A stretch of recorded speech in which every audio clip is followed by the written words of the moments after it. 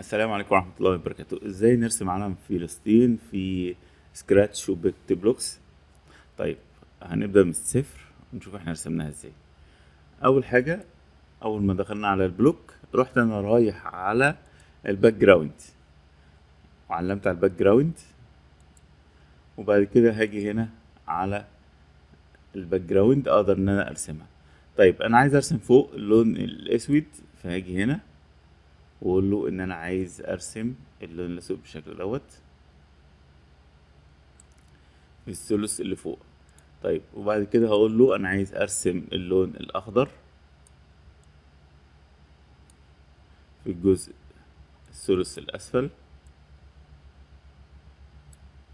وبعد كده هبدأ أقول له إن أنا عايز أرسم لاين ال line باللون الأحمر.